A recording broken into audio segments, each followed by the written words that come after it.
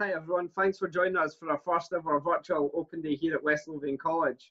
This morning I'm here with Camille from our ESOL team who will run through a short presentation and answer any questions that you've sent in. So over to you Camille, what is it you teach? Hi Scott, how are you? Hi, how you doing? Uh, I am fine. Uh, I teach ESOL at the college. My name is Camille Nami. I've been teaching ESOL for a very long time. Maybe this is my 25th year. So my, my hair has gone gray while I'm teaching ESOL. Uh, I teach levels three, four, five, basically all the levels. Perfect, thanks very much Camille. So we'll just uh, move over to your PowerPoint. Go for it. Okay, I think the fact that you are here means you are interested in our ESOL courses. We offer National 3 at West Lothian College, National 4 and National 5 units. And traditionally, these are known as pre-intermediate, intermediate, and upper intermediate. We have them as part-time and full-time courses. Uh, we have different levels and the courses are divided into different levels to show and indicate how fluent a non-native speaker is. So the courses go really in ESOL from ESOL literacies or beginner to advanced. And most organization ask, organizations ask for a minimum entry criteria, which is ESOL 5 in order to be allowed into a mainstream course. So it's like a ladder, basically. The levels tells tell us where you are. We do a small test and it tells us where you are. Uh, if you're a beginner, you go, we send, we refer you to the community. If you're at an elementary level, we refer you to the community. If you are at literacies level, we refer you to the community. If you are at national three, four, or five level, we offer you a place at the college. Now, our part-time courses are available in the morning at 9 a.m. or in the afternoon 1 p.m. or in the evening at 6 p.m. Learners attend one class and they stick to that class all year. They run normally from uh, August till June, three hours a week. And we have also some uh, classes which start in January. Now, full-time, we have a full-time course and that allows to do national four and five in the same year. So it saves a lot of time.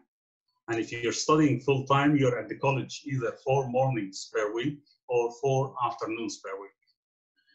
Uh, you're expected to do a lot of studying on your own because you're doing two levels in this course uh, in one year. So it's a very intensive course. In fact, all the ESOL courses are intensive ones because you can imagine how long it takes to learn a language. Like if you think how, your own language, how many years did it take you to learn it? And we're trying to do this in a very short time.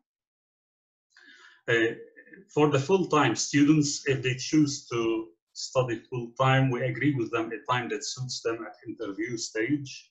So either four mornings per week at the college or four afternoons per week at the college. But as I said, you have to do a lot of studying on your own. Now, number of students in classes, we have 20 to four, uh, 24 students in each class.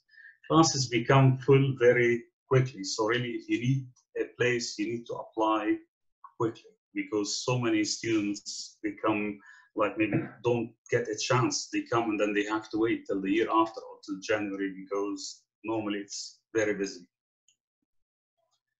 Now, a normal day at the college looks like this. We do a lot of reading exercises, writing, drafting, redrafting, listening, and this could be listening to native speakers in real life situations, watching videos, and then followed by exercises. Speaking, you will have to speak. We may give you a scenario, you may have to do a role play, then we will record you to put you under pressure, and then we will correct your mistakes then we'll try to do it again. And the speaking is timed. A lot of grammar, and so many students love grammar. Lots of vocabulary. uh, critical thinking and discussion. We work in pairs, in groups, sometimes individual work, sometimes the whole class together, sometimes you are working online, sometimes you have to go to the library, and all of this, uh, like we follow it by a lot of homework. And students in part-time and full-time have homework every week. Now, to prepare for the course, we don't ask you normally, we don't get a reading list out, but we encourage people to read in English. Any books, newspapers, it doesn't matter which topics, it's the topics which interest you. And normally the best reading you do is like, maybe you should think of the area that you're going for after. If you're going for a course after, or you're going for a field of an employment, maybe you should read about that area because that's the language. And every subject has got its own jargon and vocabulary. Now, the main aims of the ESOL courses at the college, normally these courses help people to move forward in life. And get, they get people into employment, into work, they get promotions at work if they are already working. Uh, these courses help people to join further and higher education courses. Like we have students who've been to universities and who have done HNCs, HNDs, and have moved on and opened their own businesses and have really done very well. Also, the ESOL courses help in integration. You know, nobody can afford to live on their own. And if people have moved from one country to another, it means they have to know how things run in this country. We are in Scotland, it's a different culture. How do things run here? The way things work. So, which is very important for people to get these skills. Equality. It means uh, ESOL students are not left or people from minorities are not left on the side. They become part of the college, they move on with every other student, they mix with everybody, and they move on and they have the same opportunity like everybody. So it's essential. Uh, we also give learners a voice instead of learners having to, like if they have limited English, having to depend on interpreters or translators or a family member to explain for them or to help them all the time. They can do it themselves. And of course, with this comes a lot of confidence. So all these are the aims for of the ESOL courses at the college. Now, all non-native speakers of English are welcome to apply. You don't have to be of a certain level to apply. You apply, we interview you, you sit an initial assessment with us. We check your reading, writing, listening, and this is not a test to pass you or fail you. This is like going to the doctor to see where you are, and then we will offer you a class that suits you at the right level. We don't want to put you in a class where things are too difficult or too easy. And this is not to say, uh, yes, you can have a place or not. If you can't study with us, we refer you to a partner organization like the West Lothian Council, where you can study with them for a year or two and then come back to us if you are below level three. Now, costs of the course. We have national three, national four, and five. National three is 250 pounds, national four, 300 pounds, and national five, 350 pounds for the whole year. Students or learners can apply for an ITA or an individual training account, which pays about 200 pounds towards the fees of the course. And people who came to do this course said it was the best thing they have done. Like I remember one student telling me uh, who used to work at a bakery, and after two three years, I saw them walking in the college, and they said they said, you know, this is the best thing I have done because if I haven't done this course, I would still have been working at the bakery now. And they moved on with their HNC, HND, and into work.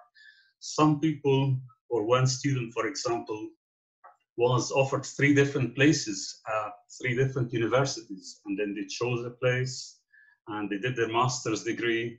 So they, they started with us at the college with National 3, National 4, National 5 ESOL, and then went to uh, Heriot-Watt University and they graduated with a master's in finance. And so many other students like have gone into nursing or university or other mainstream courses at the college. Maybe there isn't a department in the college that doesn't have an ex-ESOL student.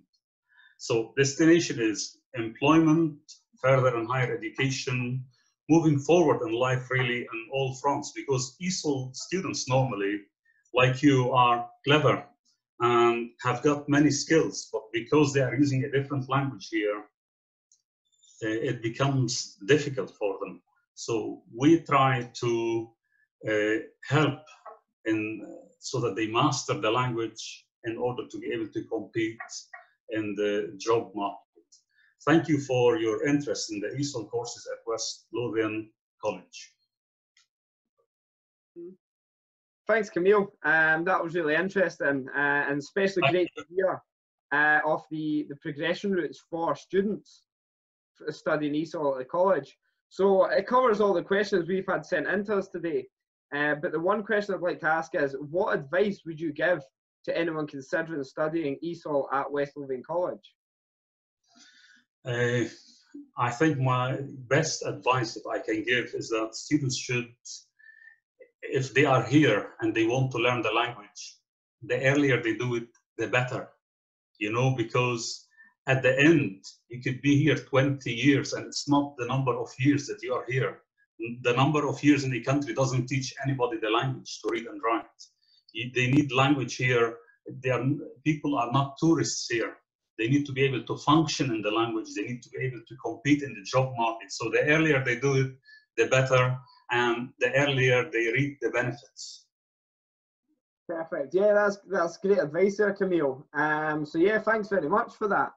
You're very um, welcome. Thank you. Perfect. And thanks everyone else for, for tuning in for our first ever virtual open day um, with Camille from our, our ESOL class. Um, so yes, if you have any further questions, please do email us at marketing at west-lothian.ac.uk or message us on social media. We'll happily answer any questions. Um, but we encourage you to get in your application for part-time and full-time courses as soon as possible, as Camille was saying. So Thank you very much, everyone, for your time, and we shall see you all soon. Thank you.